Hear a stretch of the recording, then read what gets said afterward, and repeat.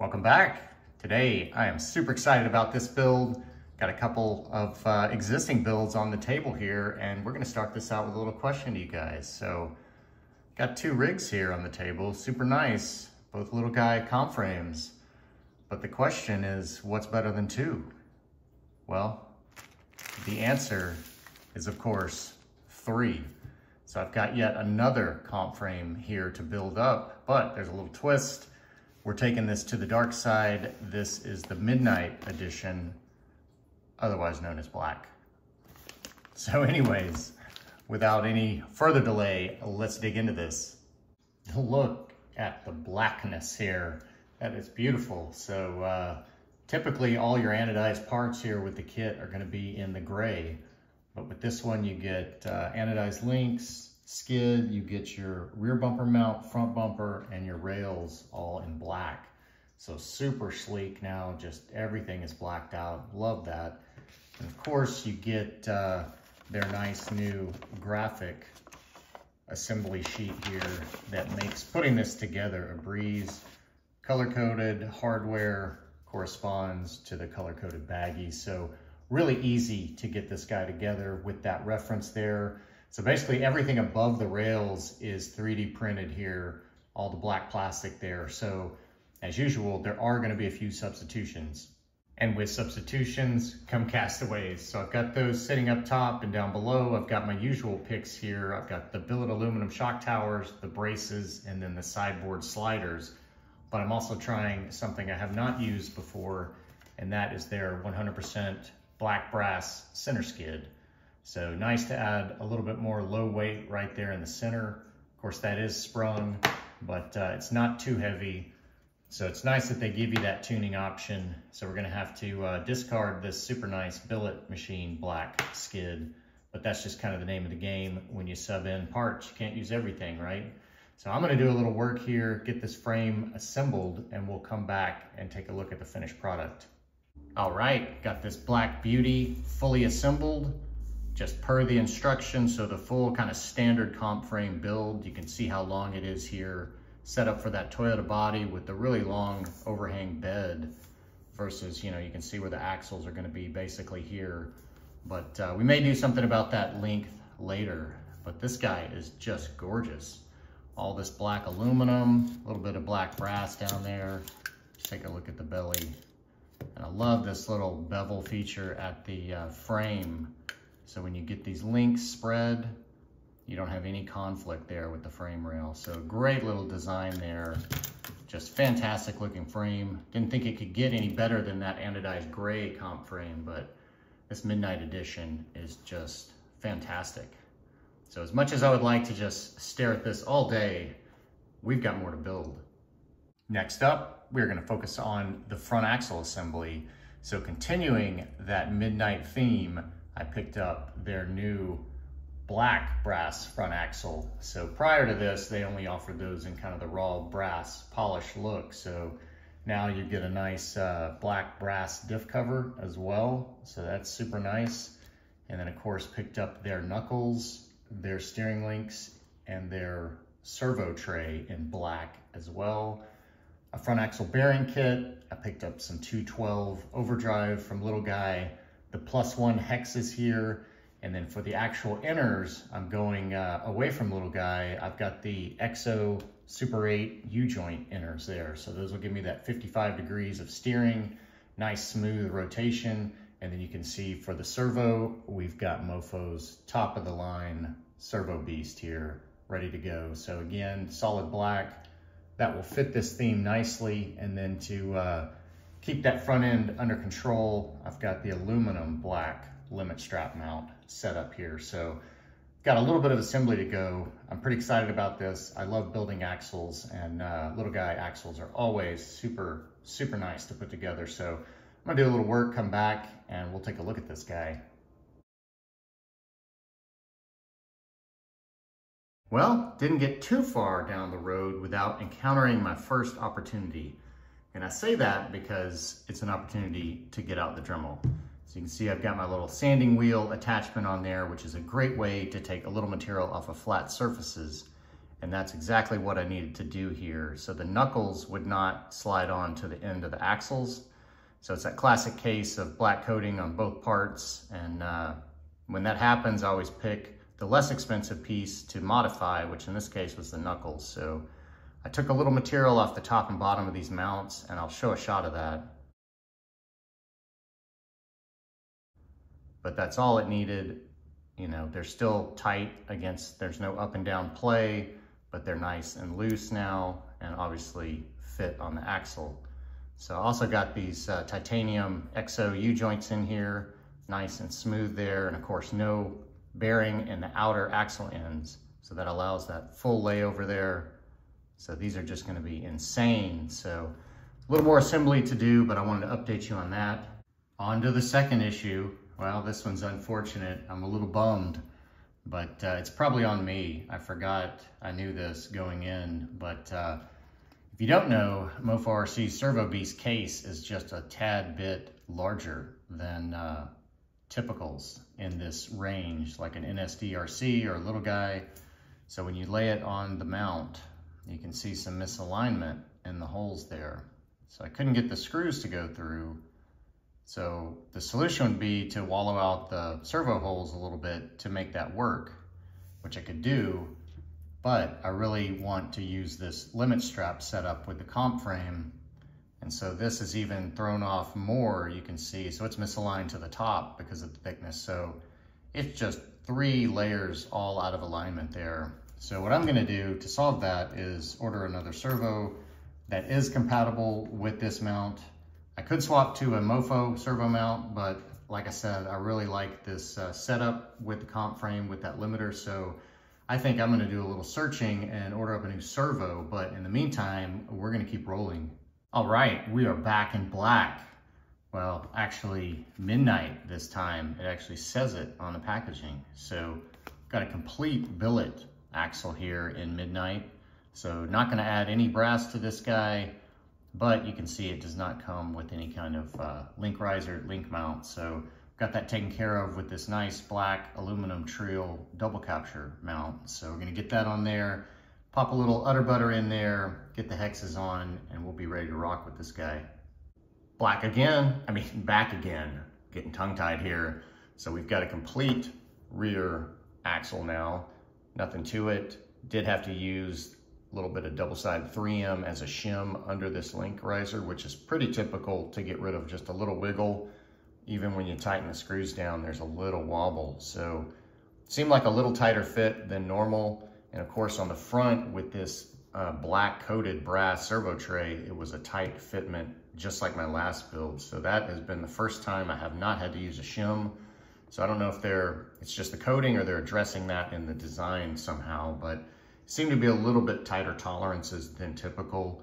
Got the uh, udder butter in the gears here and you know, this is just exactly why they call it butter.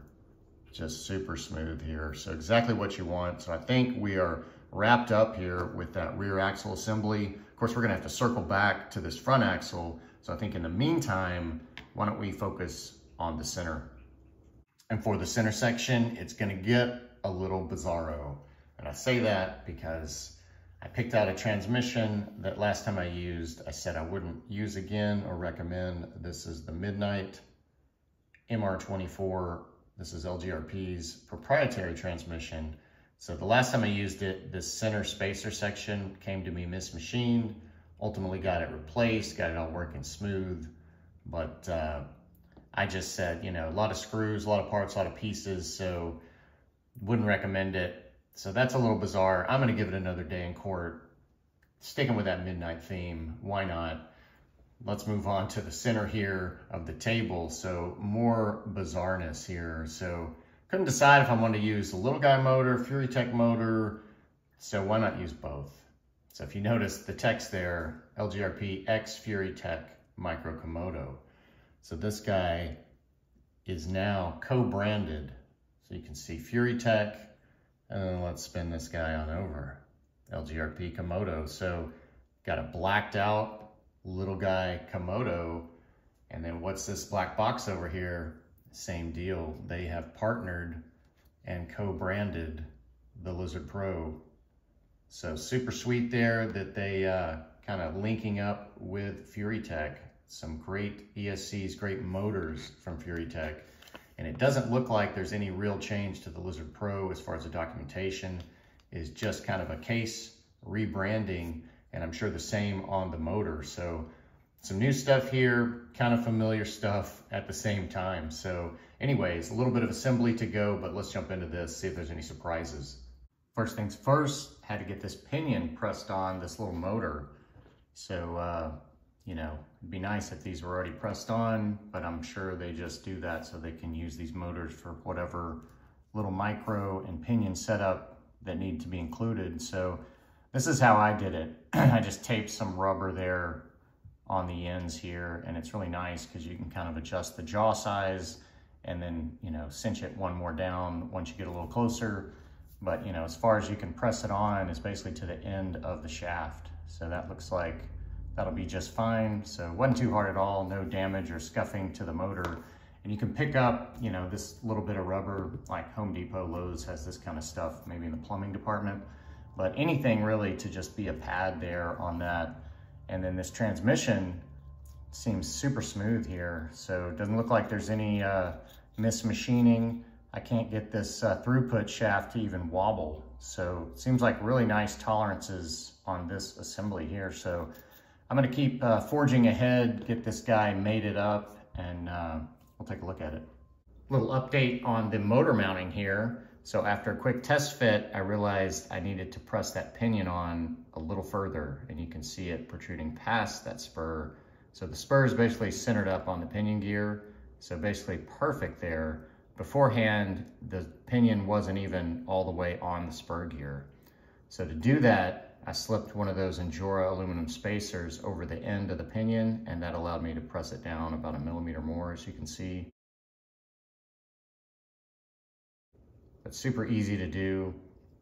Got the alignment I needed, and then I've got a little wiggle here, as you can see in the mesh. Nice and smooth, nice tight tolerances, but uh, no binding, nice and loose. And you can see I did use a little udder butter in the transmission with those metal gears. And I also recommend a little thread locker on these uh, pieces of hardware for the motor. There's no lock washer or anything, so those can vibrate loose potentially, but you don't need much, just a tad. So I think that does it for the center section. Well, who says you can't hang axles without a servo? So we got the uh, transmission mounted in, as you can see, just gorgeous. So we're moving on to shocks. So I figured I'd go ahead and get these guys out and get the axles attached to the comp frame. So you can see I got these nice black little guy telescoping. So these are their 54s. They offer these in multiple lengths. I believe this is kind of the mid length, but nice, smooth telescoping shock here. I wish these black springs were the soft, but these are the stiffest. So these are probably coming off, but those would really look good on the build being black. But they've got the medium silver and then the uh, super soft gold here. So I'm gonna do a little bit of spring swapping, get these axles actually attached here, and we'll see what this looks like as a blacked out slider. Look at that black beauty. Shocks are in and nice and smooth. And I've got the stand out because we're getting real here. So you can see I used some Injora spacers, the two millimeter at the top, and I used ones at the bottom all the way around. And uh, that keeps these shocks off of the frame when you twist. see if I twist this guy, this ends up straight down. So you want a little space there so you're not rubbing that shock and getting bound up there. And the other little tip there, I took out the O-ring on the outer large flange side of all these uh, little shock eyelets here. And again, that's just to keep those from binding. So I'm basically got my initial setup. I'm as low as I can go. So I'm basically almost hitting the tray at the back and the same at the front, almost hitting this brace, you know, mount point at the top with that limit strap piece. So that limit strap piece is kind of nice since I don't have a servo I can still kind of do my initial setup here. And so speaking of that setup, bring this down here. So if we look at that servo mount point and twist this frame, you can see it's back at that wide point of the frame. You can see they're coming up right at it. So Really, I would like that to be up in this wide portion of the frame here because when you twist, you're gonna hit that frame with the mounts on the side and you can see that right there. So, I mean, it, it can slide by, but it can also get caught. So I just, I really don't like that since they do have the frame designed to allow for clearance. They just don't have the longer lower links to get the axle up further. So, you know, I can lean the servo further forward, but then I'm pointing down with the servo. So I've got kind of that reverse caster that you're looking for. So I think because we've got that uh, limit strap holder and kind of can figure out the outline of the servo, we've got the tabs, I think we can move ahead with a little more fine tuning setup on this front end. Boy, that was some fast progress. And we changed colors a little bit here. Well, I've got out this uh, existing build here again for some reference. So if you notice those front lowers on this guy kind of tuck up and you don't even see them. That's because I did this uh, little solution here to move this front axle forward. So these are actually both front, just normal axle steering links. And I've got those stretched a little bit here to give me around the 63, 64 millimeter range, but that gave me a little extra length on that front axle. And then you can see because of the steering link kind of double bend, they just disappear up there. So uh, looks like the breakover because that the sliders are so acute there. Hopefully that won't hang up on the skid because these kind of tuck up before the leading edge, but they definitely give you that length that's needed to get this servo up now, like at the front part of that 45. So it was back about two or three millimeters on that black comp frame chassis. So this is the setup I'm looking for, and then it puts that servo horn right at the frame at full lock and full compression. So you can't get any better than that. We're getting everything out of shocks, out of uh, links, out of uh, you know, clearances here were right down as far as we can get. So this is what I'm gonna try to replicate at least uh, on this black one. And of course, since this guy is all black, get this out in front, we're not using stainless, well, we are using stainless, but not raw stainless. We're using Injora's black solid stainless. And then you can see I've got uh, these stretched, I guess, two millimeters. I've got a one on each side. So these are measuring out at 64 eye to eye. So I'm gonna pop these in on the black one, see if I can't get this axle up a little further where I want it, and uh, we'll come back and take a look at that setup.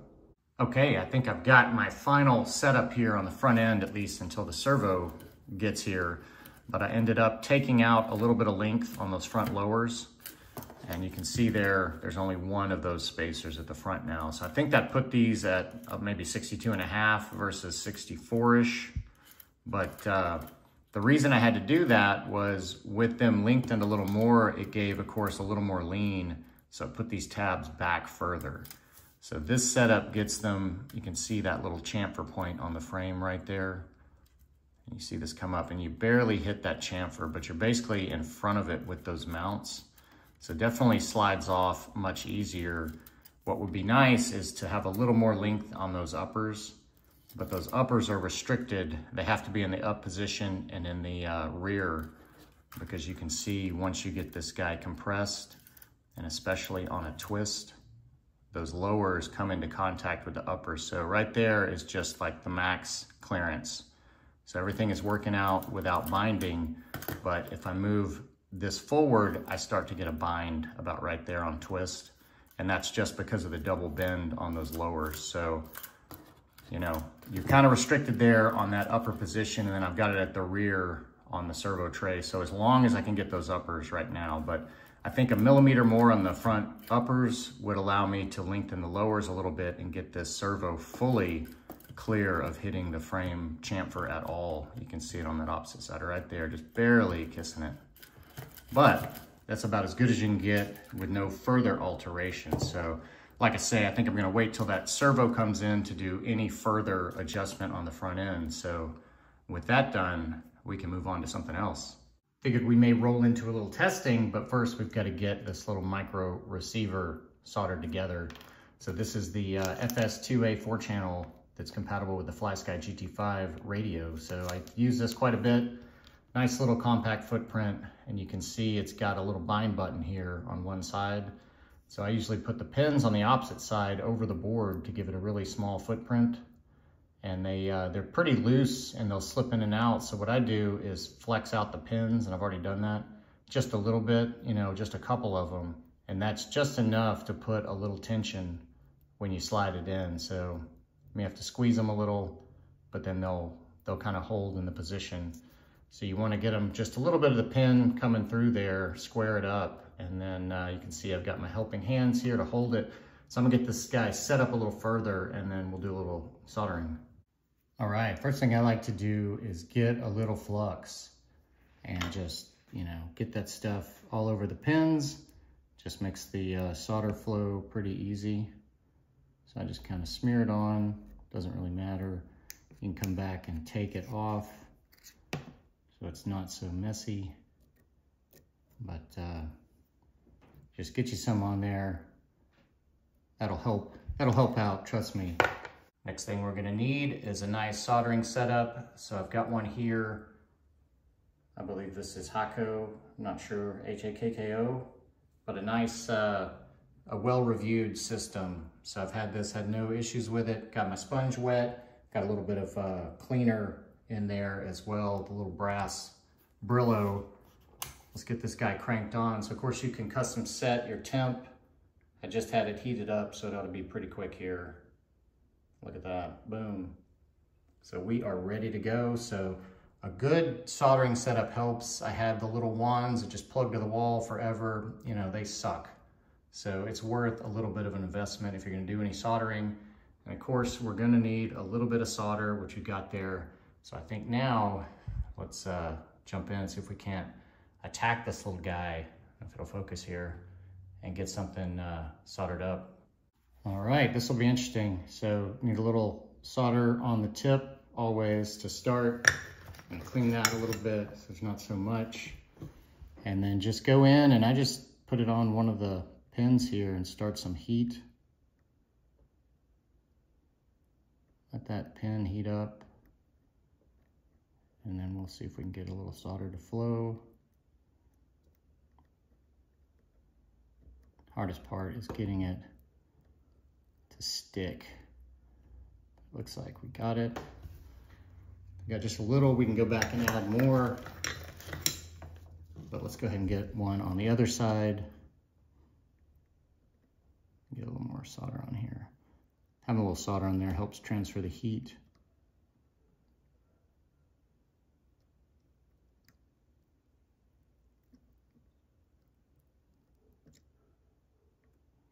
If you stick it to it, you just pop it off. So there we go, that easy. So I'm gonna do the rest and uh, we'll come back and take a look at it.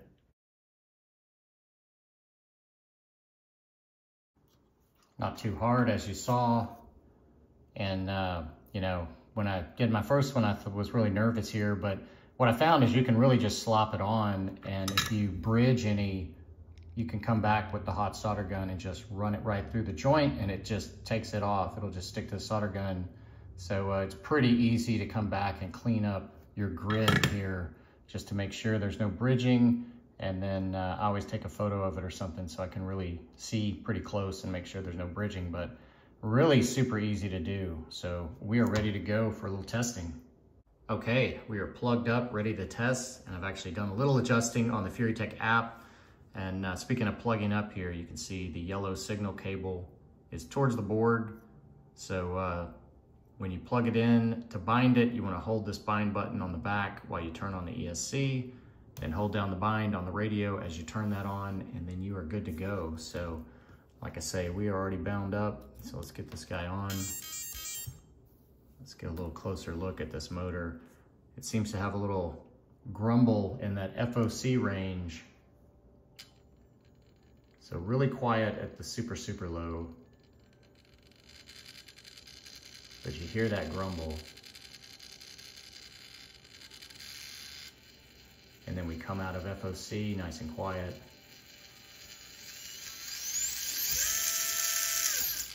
So we'll see if that grumble improves with the drive lines in there. But just a little tension on the system may take away some of that vibration. But I think that's all motor. I can really feel it on the can. Just real chunky at that low speed until it gets going and then it's just butter. So anyways, I think that initially checks out. We'll uh, investigate further when the drive lines are in there. And uh, of course, we still got to get the servo at some point attached to this electronic setup here. But uh, so far, so good. Back for the second test, we got the drive lines in. So let's get this guy switched back on and maybe that took care of some of that low end grumble. Zoom this in here, pull this back and see if this is any better under load.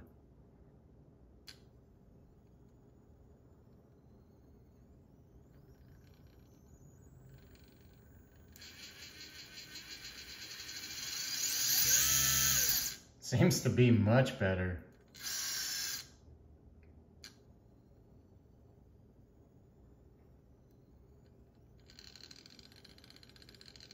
a little grumble and then we're out of it.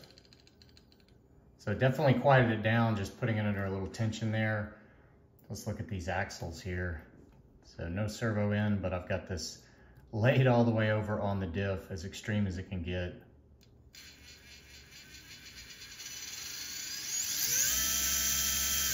Just super smooth, incredible. Just great steering angle there.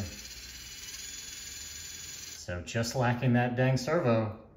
I figure it's never a bad time for wheels and tires, so we may as well get a set on there. So continuing with the theme here, I've got the new Apex wheels in satin black, and these just look fantastic. That vintage slot, just super nice. Got a brass ring on them, so a little bit of weight, nice open back face, but always fantastic wheels from Little Guy.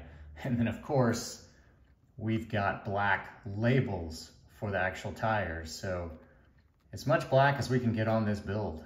And then we're gonna stuff some of these nice soft and super soft inserts from Injora in those guys. So I'm gonna punch a few holes in these tires and come back with these mounted up. Back in black, labels that is. And man, do they look good on these satin black Apex wheels. Talk about a killer combo from Little Guy. Just fully completing this midnight theme. Full blackout here. Does this guy even need a body? I don't think so. you can see this stance now is sitting nice and low as well. So I've got the front limited with one of their bands, as you can see there.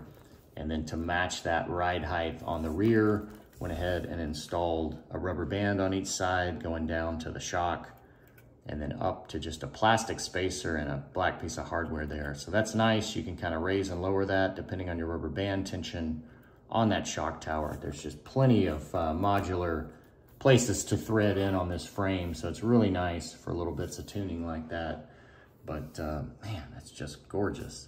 So let's look at this front end, I guess. Let's check the important clearances here. So it looks like we are right at the shock, well away from the slider here.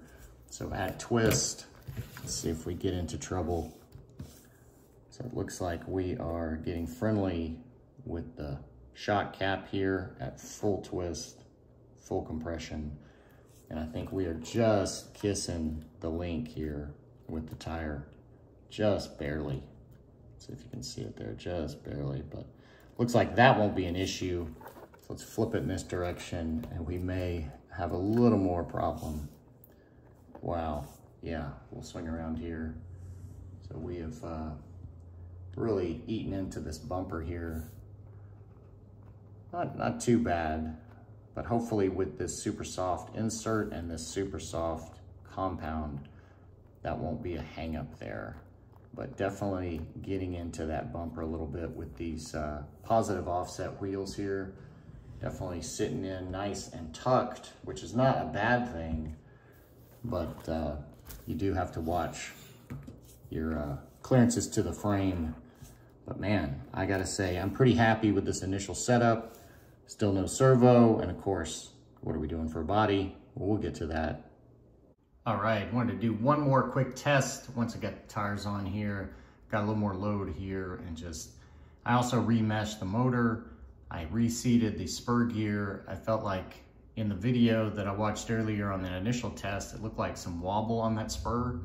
So I just reseated that just to be on the safe side and uh, full new mesh. So let's see what this sounds like now.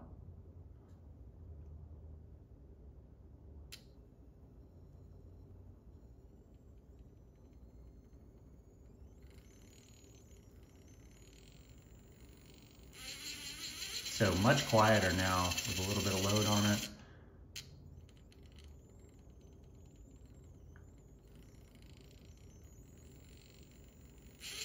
You can hear a little bit of noise at FOC, but not much.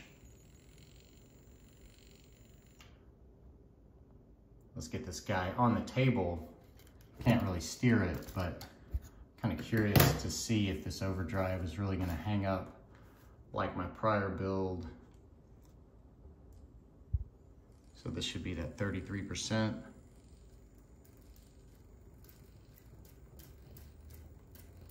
So yeah, there is a little,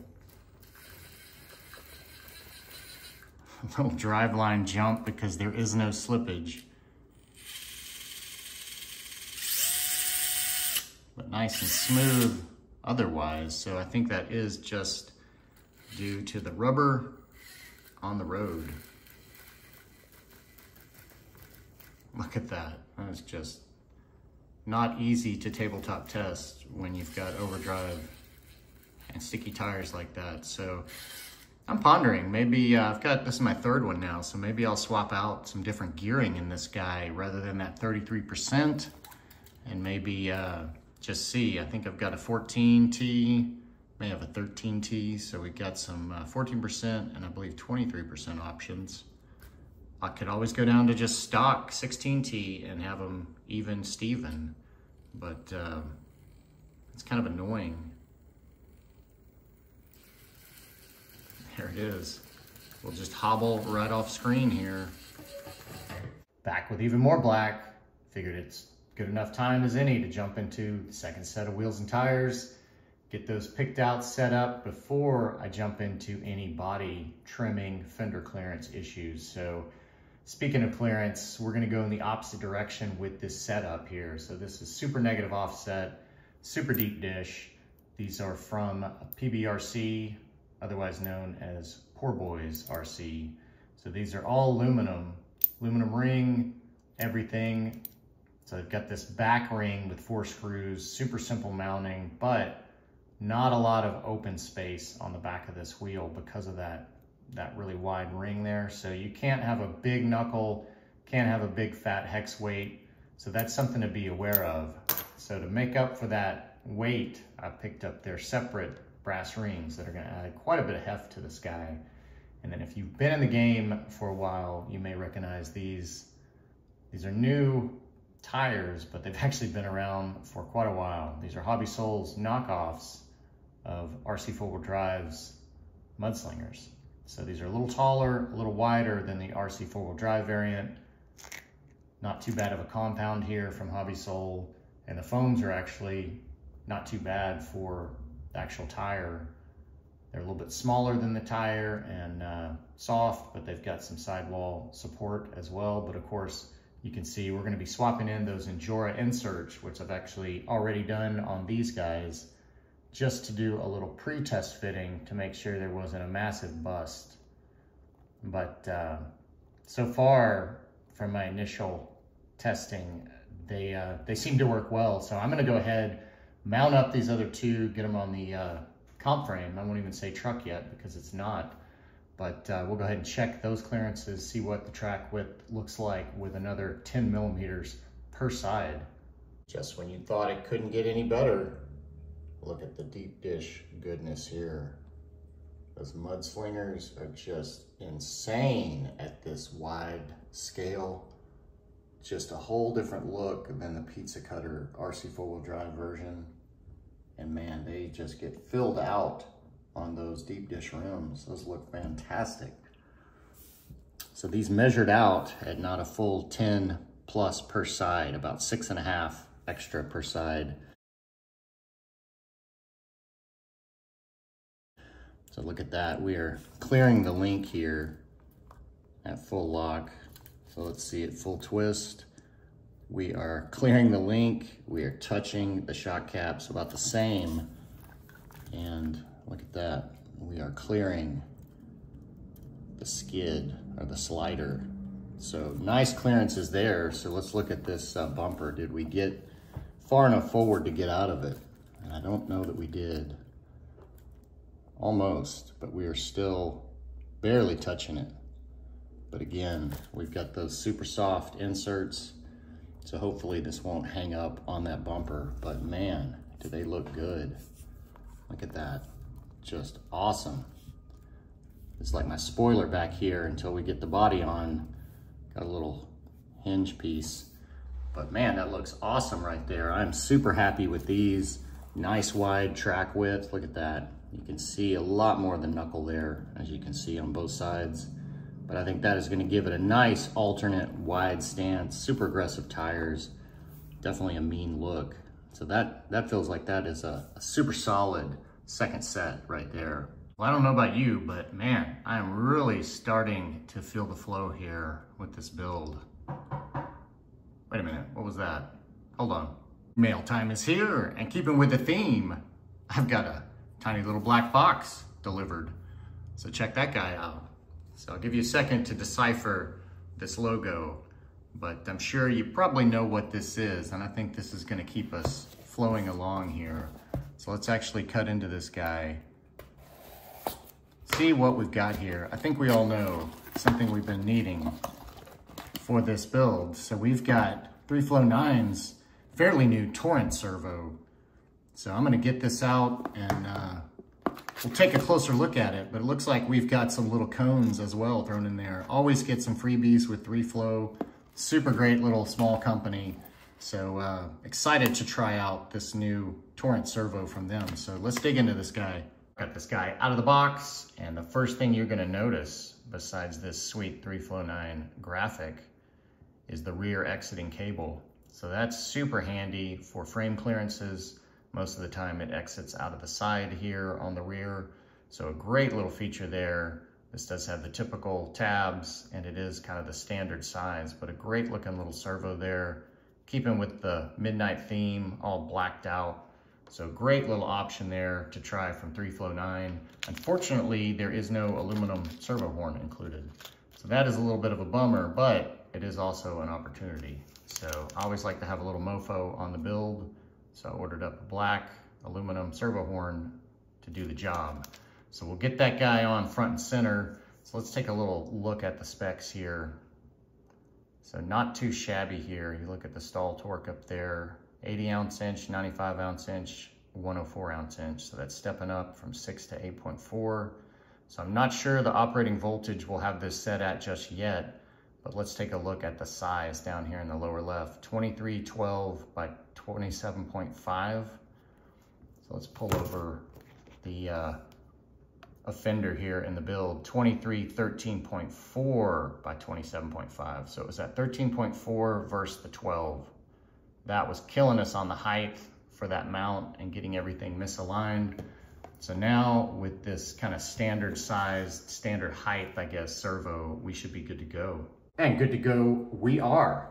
So I got the servo installed, as you see, and it is super buttery, just nice and smooth, nice and blacked out.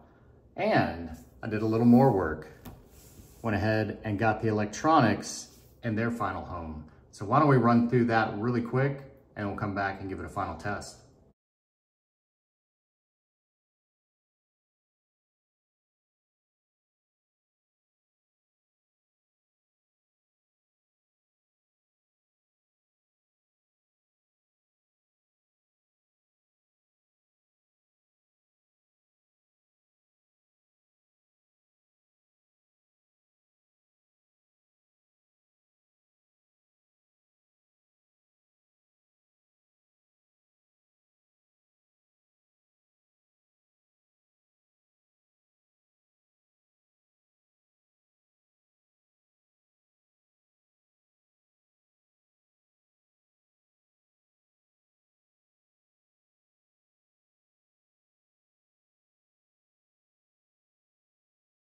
Not too hard at all, as you saw, getting those electronics in, plenty of space in this comp frame.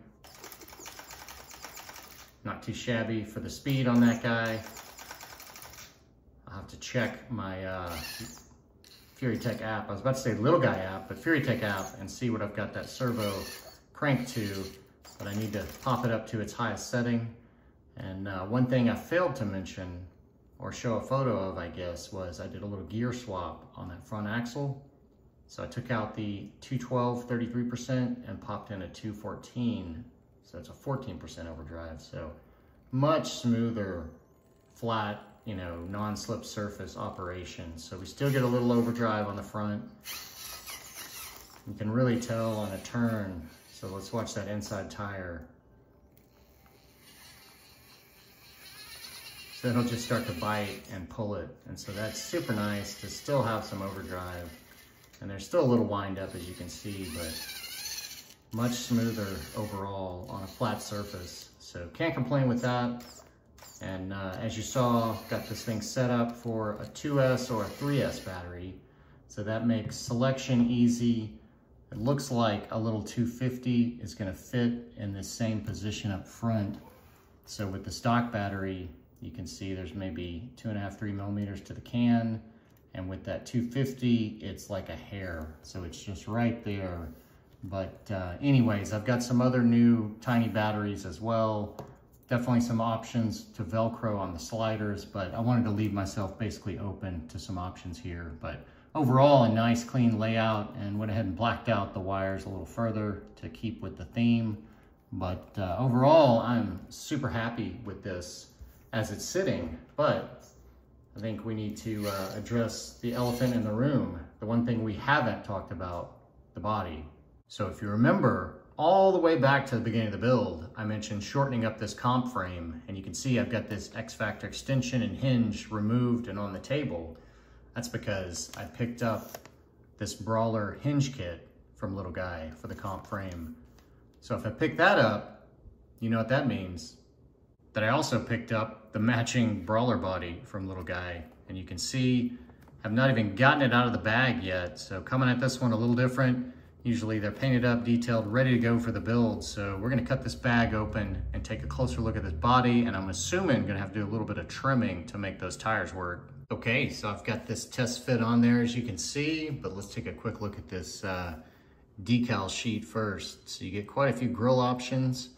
You get all your windshield masks, you get tail light masks, and what's nice, you get actually a hood mask. So that's pretty sweet. I was thinking about potentially doing something there anyways, and then you get some windshield banners to choose from. So quite a few options there, at least on the grill, Jeez.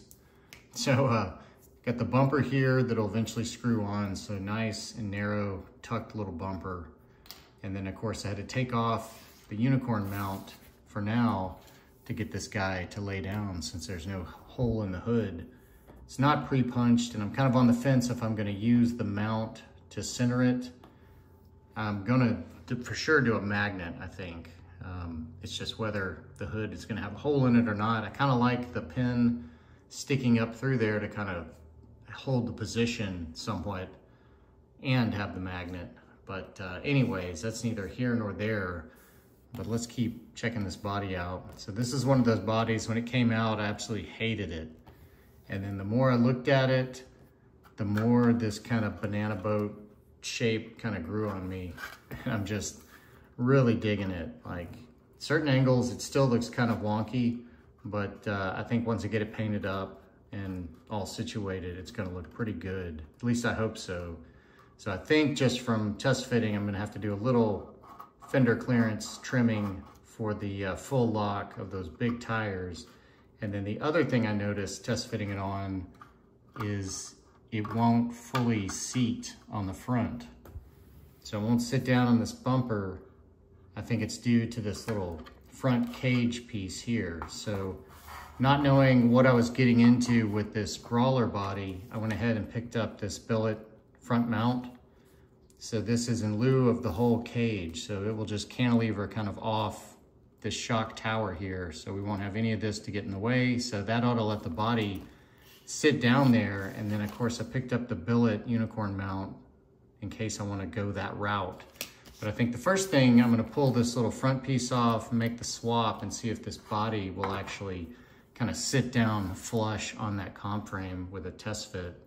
Back with this body mounted, and as soon as I swapped this front end out, I realized this wasn't the culprit. I thought it was these little screw nubs that were causing it, but I realized you just really need to pull the, the body just a little bit probably, and it'll sit right down on that. There's no height difference. So what the issue ended up being was uh, this coil of wire right here was sitting on top of the ESC, and you can see I've kind of slid it forward over that battery plug. So it's sitting down below the shock tower. So that was really the issue causing this body to not want to sit down and it just reflected in the front because it was kind of popped up. So anyways, the fitment is really nice. The um, bumper, getting that on there, there is a little bit of slop up and down. So the holes are not too close to the bottom of the Lexan. So you can kind of adjust that as needed, but uh, nothing to it. And I'm really, really digging this look now that I've got this mounted up and situated, kind of waffling on this rear cut if I want to extend it or not. Um, I thought it was kind of odd, but now I'm kind of liking it the more I look at it, but it, it is a little off center of the axle. So there may be some adjustment there just visually, but the front is gonna definitely need adjustment for uh, ability more than just visually. So at full lock, full twist, Look at that. So we're gonna have to take out quite a bit of that fender edge. And then I think we're gonna have the same issue, of course, at this front bumper. Probably not as bad, but we're still gonna, still gonna get into the tip of that fender there. So I've got to come up with a nice creative trimming scheme. And then of course, haven't talked colors yet. I'm pretty undecided on that.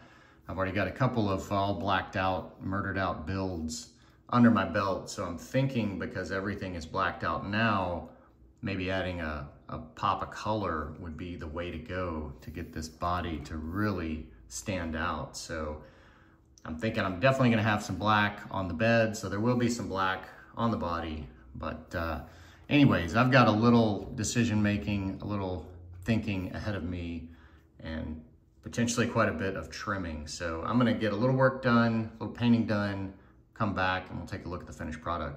One thing I forgot to mention about this front nose piece kind of swap out was uh, kind of the, the shape here in front of the mount. So you can see that's pretty wide and there's just this little cross brace there at the unicorn mount versus this billet one, you get kind of the recess, you get three edges there and then you get this full piece here for the unicorn mount.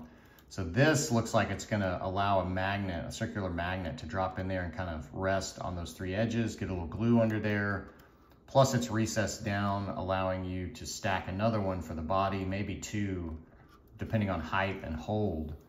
But it looks like a really good setup to be able to plop a magnet right behind the unicorn mount and keep that mount. And I'm still kind of waffling on that. This sits down in these sliders, like perfectly centered basically on this front, but the mount would allow me to uh, put a little tension on the body and pull it forward, basically, if I wanted to uh, adjust where that hole is.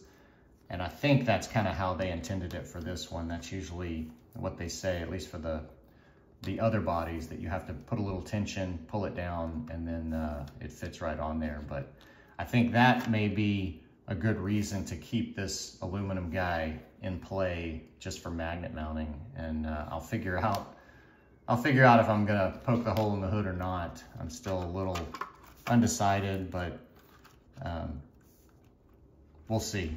But I just wanted to mention that as far as mounting, if you're gonna try to use magnets, this may be a better option for you.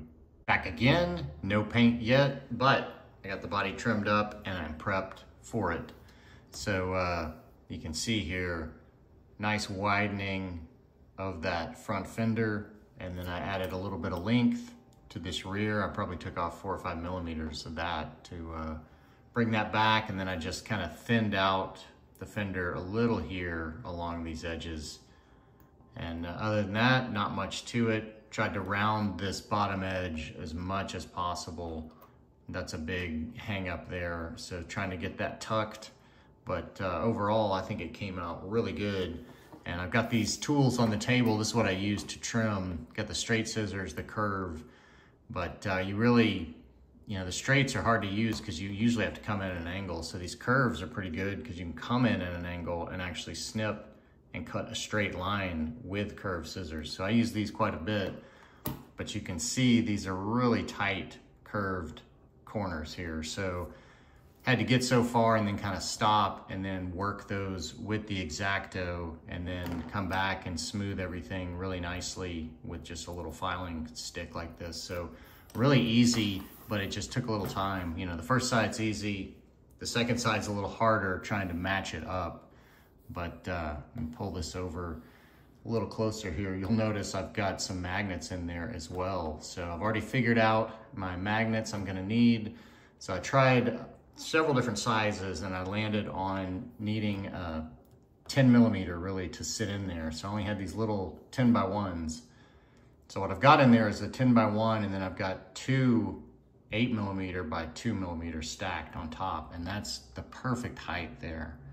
And those two by eights will give me more hold. I could stack a ton of these, but this seems a little bit easier.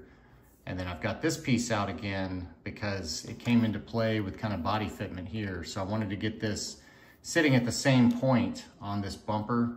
So it screws in to that bumper. So initially I put the screws just into the bumper as kind of a catch point, but then I realized these little plastic nubs come out even further.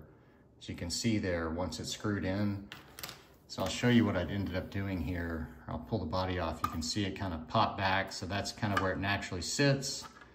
So I've actually got two of these unicorn mounts screwed in on each side.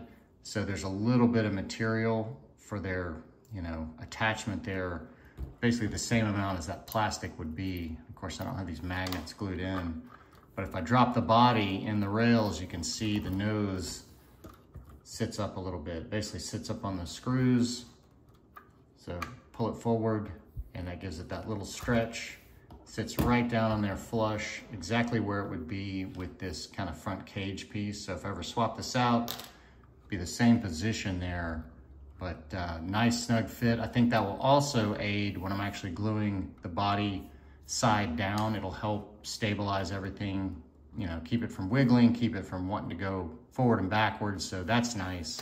And I think I'm gonna lean towards no unicorn mount least to start with. You can always modify that and add it, but uh, this is what I ended up with here. So I'm gonna go ahead and I think get the base couple of magnets glued in. So I'm gonna glue the small one to the large one so there's no slipping around like that. And then these two that actually match size will actually just, you know, of course, mate up and won't have any slippage because they are the same magnet. But in theory, that's gonna work and hopefully be a super clean mounting solution for this guy. So still ahead, a little paint work, and I'll be back.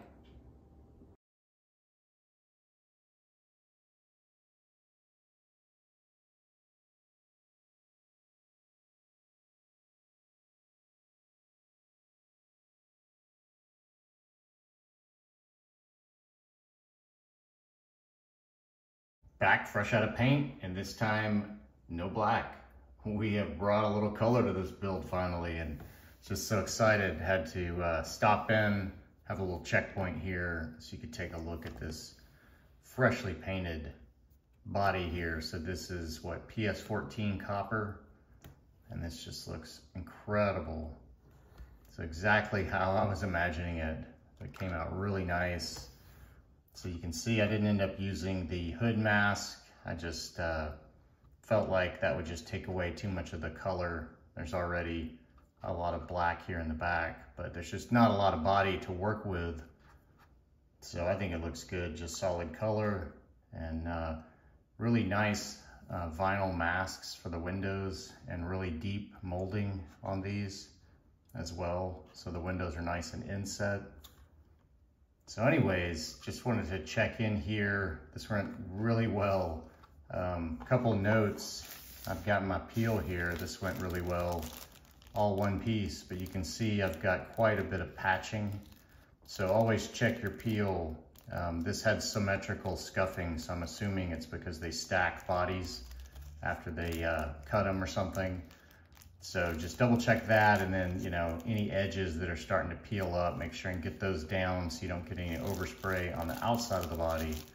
But like I say, this came out uh, really clean. You can see no overspray anywhere. Really nice. So ready to go here. I guess next up for me is making a little decision here, picking out a grill out of one of these uh, six here. So anyways, this is going well and uh, we'll be back with hopefully the magnets glued in, this guy mounted up.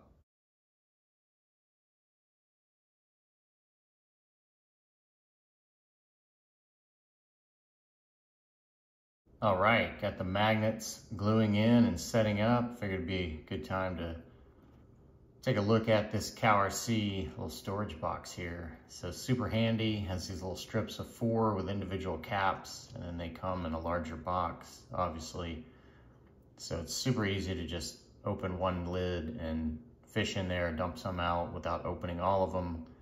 Keeps them nice and separated, but uh, honestly, I'm just killing time until we get to wild cards. You knew we were gonna do it. So I've got another set here. And of course, we're keeping with the black theme with the wheels. So these are OGRC, and I think they just call these solid, just solid wheels here. That's all the packaging you get. Not much uh, detail, but they have the nice heavy OGRC brass ring. And of course it's vented. It's got some uh, chunky hardware, as you can see on the back there. And it does kind of stick out from the back wheel face a little bit. So you can't have uh, potentially, you know, a super big hub or, or knuckle face. You might get a little rubbing there. And then for the meat, of course, we've got the JConcepts ruptures. So these were sold out for a while and they finally came back in stock. So I picked up another set. So these are the big boys at 63. So right there in the sizing we've got going on this build. And then you can see I'm gonna stuff them like the others with these Injora inserts, the super soft and soft. So, you know, of course I've mounted one up. I've only got three on the table. So let's take a quick look at it. That looks super sick. Nice deep dish. Only thing better would be solid black, no lettering. But uh, doesn't really bother me. So I've got a vent here in the back and these feel so nice, man. And they just look killer. These inserts fill them out nicely. So got a few more to get mounted up. Then we'll get them on the uh, truck and uh, actually get a look at it here with some fresh wheels and tires. Here we are with the wild cards and they are looking super sick. Really digging that deep dish, solid wheel. Of course, I think they would look a little bit better if it was fully black, but like I said, I'm not gonna complain. I think that's a great look. Nice, nice, nice wide offset there with those wheels. And it looks like we're gonna be about perfect here at full twist, full lock. Look at that, money. So good body cut there. And uh, let's check the nose here. So we can check this side.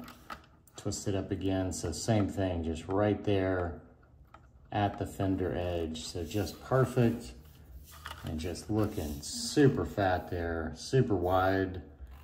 A little bit smaller tire than those uh, previous ones. But man, they definitely fill out the truck nicely. 63s work. So getting this guy fully squatted, nice and low right there. So we're sitting about mid rise, I guess, of those shocks. So nice, nice position there for the body.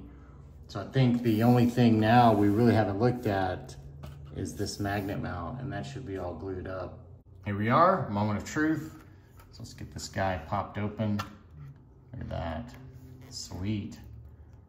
So these guys stayed put and then under the hood I ended up doing tape just because I've had some issues in the past with some ghosting coming through on the magnet with metallic paints. So I didn't want to take any chances there. But uh, you can see that pulls it down nice and snug there. So I've still got those kind of guide pieces in there, those two unicorn mounts. So those are gonna come out, obviously.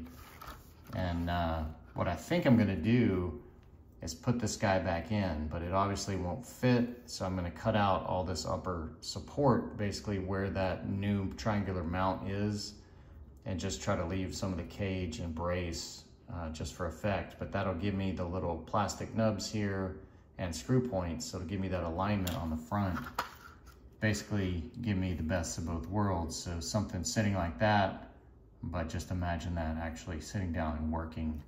So that's the idea there. But then when I close it, it'll still have that little bit to stretch it nice and uh, even there across the front and, you know, get some usage out of this piece that I would otherwise not. But I think that uh, does it for the body. Oh, wait a minute. I've got one last little thing, almost forgot about it. So one little surprise here. Back again, I've got to stop doing that, back again with the first set of black wheels and tires on here. So this is the only set we haven't seen with the body and they're looking just as awesome as the other two sets. A little bit uh, narrower track width here, but still nice and wide with these Super 8s. And you'll notice I added a little detail in the form of some little guy stickers here. So I had to add a little bit more to this body. It was a little bare. And then one thing I forgot to uh, mention earlier was the tail lights here. So you can see those have a nice uh, clear red. So the way I did that at the end was just brushed on a little PS55 flat clear. And that was just to make sure I had some good bond and this is just some Testors, I guess stoplight red. So this is their translucent red. So I wanted to, it's not made for polycarbonate. So that's why I put the PS55 on there first, but that's an easy way to do little things like that at the end. Just brush it on. Don't have to worry about spraying those little guys or remasking. So super easy there, but none of that is actually the surprise. So this is just like an 80s cereal box here. The surprise is inside. So for that, we're gonna need a battery.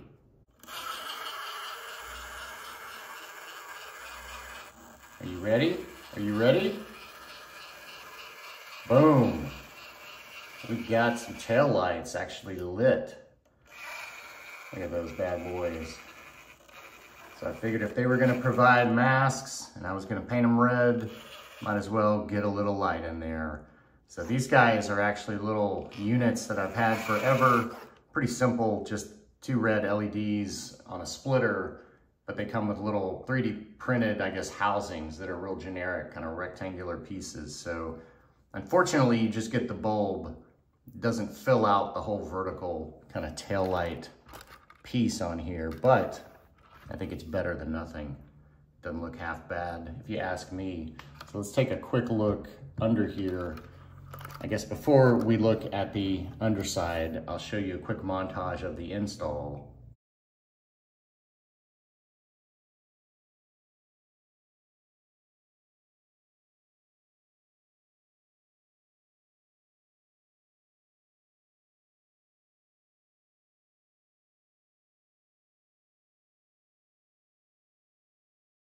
So as you saw, nothing really to it.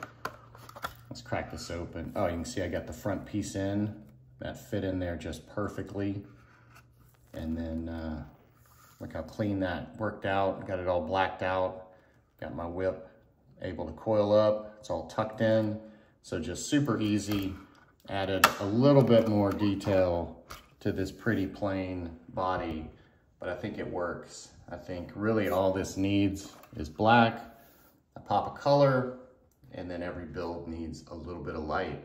So I think that is gonna wrap up this guy as far as the build. The only thing really left to do is a little bit of testing.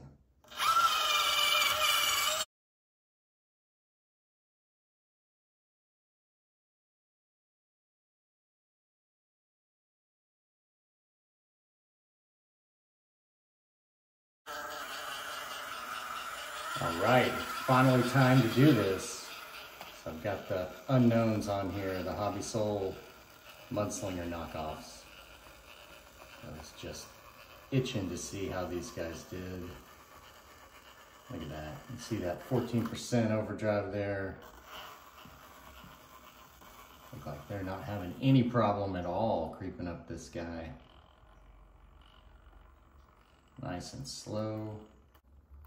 Creep it over this edge.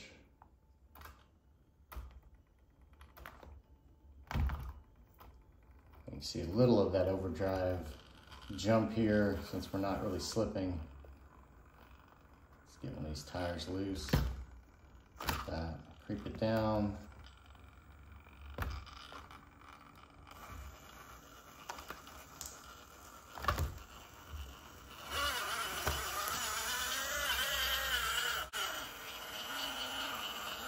All right, come at this from the back side here.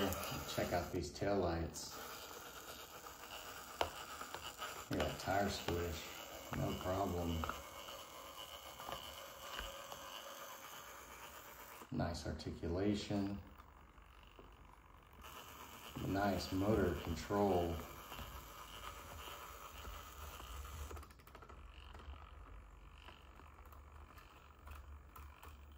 See a little of the stutter. And drop it on down. Look at that though. That sure makes a big difference not having that uh, big overhang at the bed versus the uh, X Factor truck. Look at that.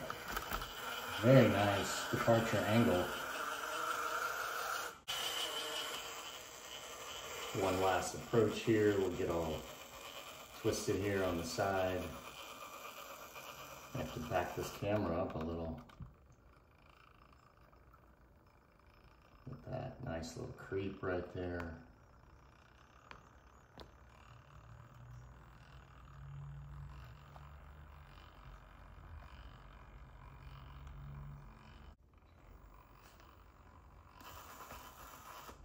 All right, now we're gonna, have to flop it over.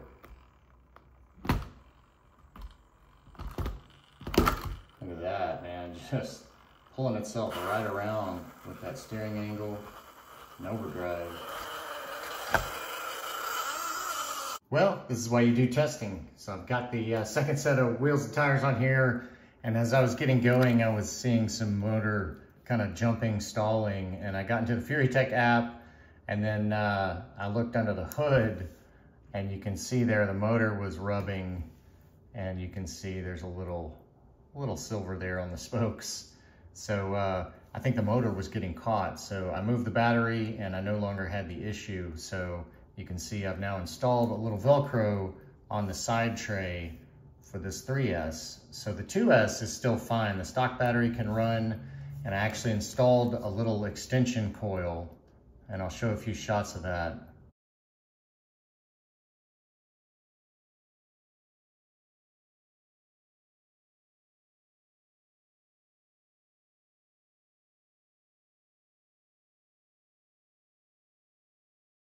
But that allows, you know, more positioning of this. I can get up here easier. I could double back over here behind the transmission. But uh, the thought is to uh, maybe ride this guy right here and keep, keep it out of the strap and keep it from rubbing this. So little fix here and we'll be back to testing. All right, we are back in action. A smooth motor, no hangups. So always good thing to check and make sure those outrunners are clear of anything because they are spinning and like you saw, that can be bad news. Let's see if these uh, double bend lowers can clear. Oh, let's lift this up so you can see. Look at that. Just money, just perfect transition with those sliders and the skid. So no issues there, that's excellent. Get a little wider shot over here keep it creeping, but look how smooth that is. So nice. Definitely glad I identified that little uh, motor hang up. So now we get a little stutter from the overdrive as we're creeping down. There we go, we're starting to get some slip. Bring it on down, nice departure. this guy at an angle, get twisted up here, see if we can't get these ruptures to grab. Looks like it. This overdrive and steering will kind of pull us up, pull us around a little. Look at that. Easy, easy does it. And get the belly.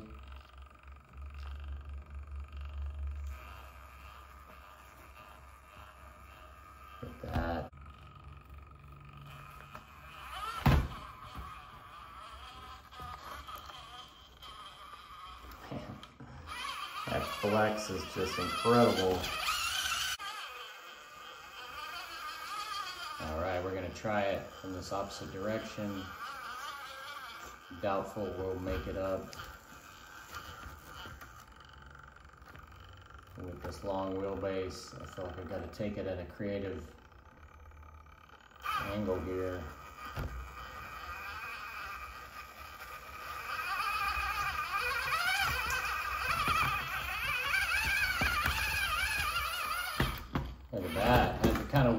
Squirm, but up and over. All right, bringing out the originals. Back to the black labels here on these sweet Apex rims. So I figured we'd change it up a bit, see if we can't do some different lines here. Get this guy twisted up, see if we can side hill. Look at that creep. So pretty good balance so far. Got that rear passenger floating. I think that'll come down and grab. Look at that. Just nothing, nothing for these black labels. Just grip and conform, just super soft. Let's see these peeling over the edge.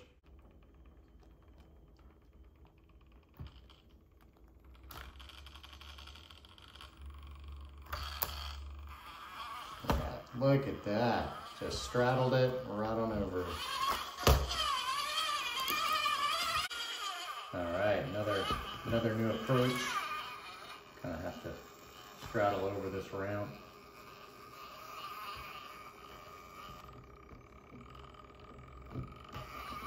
Look At that, we just repositioned our rear end with that servo strength. So I've got this servo up at the 6.5 highest setting for this Furitek ESC. Let's see if we can swivel without totally tumping. Kind of pivot on this slider edge a little.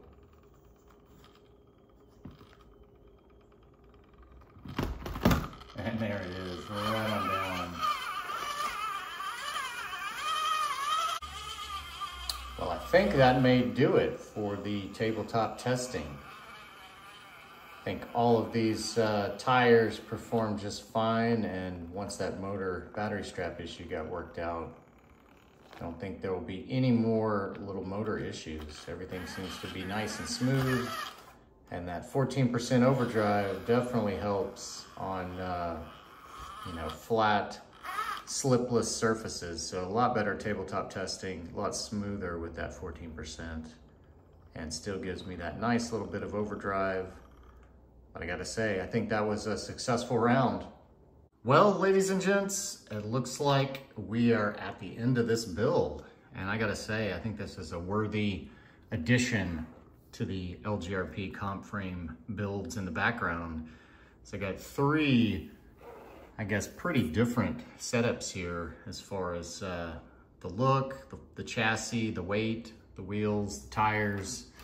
So uh, different motors on all these guys, very similar, but we've got a BAM, we've got the Creeper V2, and then we've got this new LGRP Furitek Micro Komodo, of course, in this guy. But all in all, just super happy with this. Loving both sets of the wheels and tires here. The uh, deep dish look great, as well as these nice positive offset Apex. And uh, you can't ever go wrong with these black labels. They tend to look good on just about every build that I've put them on. But uh, man, not too many surprises on this one. Went fairly smooth besides the little servo issue. Got the front uh, caster worked out with those double bend steering links. That was a nice little mod there. And then of course we got the new motor and ESC, kind of new motor and ESC, basically the same. But uh, anyways, hope you had fun on this one. Hope you learned something. I know I did, always do. But until next time, thanks for watching.